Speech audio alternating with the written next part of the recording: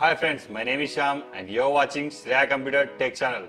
Friends, today is the good news for Moto C Plus users. Android Oreo 8.1 was released to these users. So friends, if you want to feel the Oreo 8.1 real experience, then you should follow these steps. Before installing this ROM, we need to enable three steps. Enable developer option, unlock bootloader, and the third one, install TWRP. Let us our device boot into TWRP recovery mode by pressing volume up and down and power button simultaneously.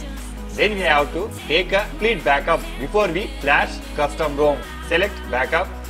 We have to choose boot, recovery, system, data and modem. After selecting these, swipe right to confirm. Press on back. Wiping our temporary data, it will allow us to cleanest install our custom ROM. Select wipe, select advanced wipe, select Dalvik ART Cache, system, data and cache. Swipe right to take an action. We need to go to here to install stock ROM. By pressing back here you may find install. Select Oreo 8.1. Friends, here I provide a latest version custom ROM and GApps which are suitable to your device. Please find in below description and you may download it. After selecting this Oreo 8.1 ROM, swipe right to install. Click on back option, select the GApps. Friends, here I will choose the nano version of GApps. The versions of suitable for this ROM, Pico, Aroma, Stock and Micro. After selecting these, swipe right to install. Before we proceed to reboot our system, we need to wipe a temporary data cache. Select the wipe cache and swipe right to wipe data. After finishing all steps, we need to reboot our system. Press on reboot system. Friends, here will take 2 to 3 minutes to reboot your device successfully and later I will show cool features are given in Oreo 8.0.